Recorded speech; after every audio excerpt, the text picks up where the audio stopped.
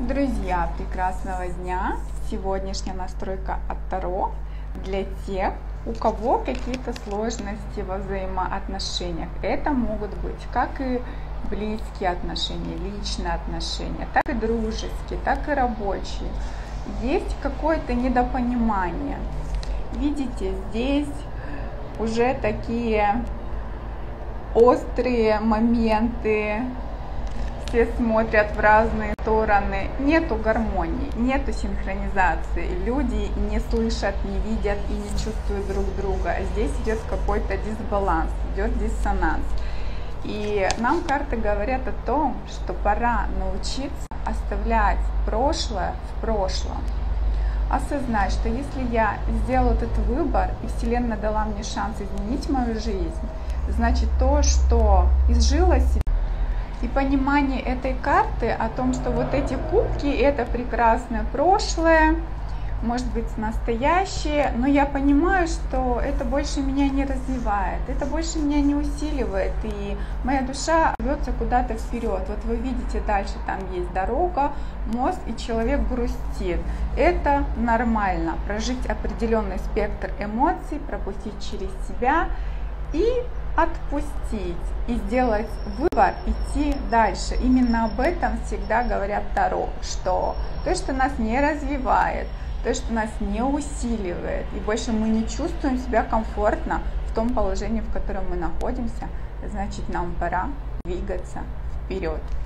В развитие, в эволюцию, брать на заметку правила ЭОН, как я люблю говорить, и проработав себе и когда мы научимся этому навыку, у кого-то он встроен, кто-то уже пережил определенные трансформации в своей жизни, и он легко все отпускает.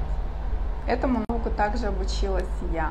И поверьте, вы будете сохранять в себе свое хорошее самочувствие, высокую энергетику, прекрасный э, внешний вид, и все свои ресурсы будут при вас а все остальное будет идти за вами рекой, такой волной.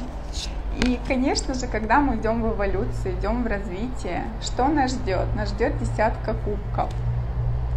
Это значит новые выборы, новые достижения, новые цели, мечты, новые чувства, эмоции, новые знакомства, люди. Все Здесь десятка кубков говорит о полном эмоционально-чувственном наполнении, насыщении нашей жизни. А кто не хочет к этому прийти? Все хотят к этому прийти.